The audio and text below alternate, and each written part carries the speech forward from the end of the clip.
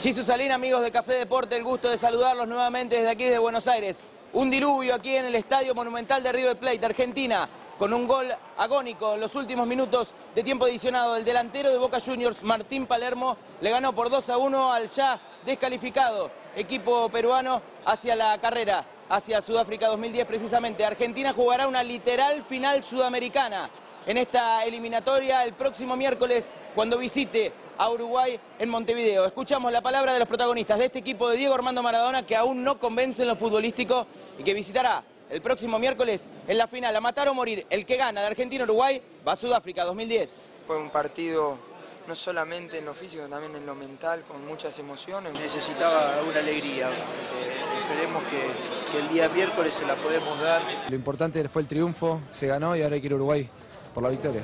Pensé que estábamos liquidados, pero un milagro más de, de San Palermo que ahora tenemos que ir a Uruguay a, a jugarnos a jugarnos la clasificación. Una literal final se vivirá el próximo miércoles en Montevideo. Jesús Salín, amigos de Café Deporte, amigos de Proyecto 40, los estaremos como siempre informando desde aquí de Sudamérica. México clasificado, gracias a Dios, al Mundial de Sudáfrica. Argentina veremos si lo logra en tierra uruguaya el próximo miércoles. Saludos.